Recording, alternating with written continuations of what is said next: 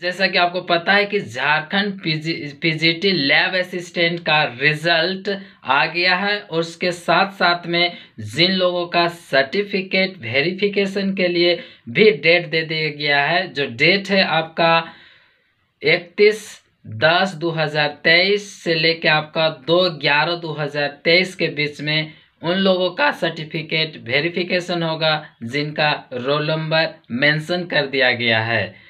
ठीक है? और उन लोग तैयार रहें पंद्रह नवंबर को ज्वाइनिंग लेटर लेने के लिए। थैंक यू फिर मिलते हैं झारखंड पीजीटी का। एक जो है रिज़ल्ट बहुत जल्द आपको मिलने वाला है। Thank you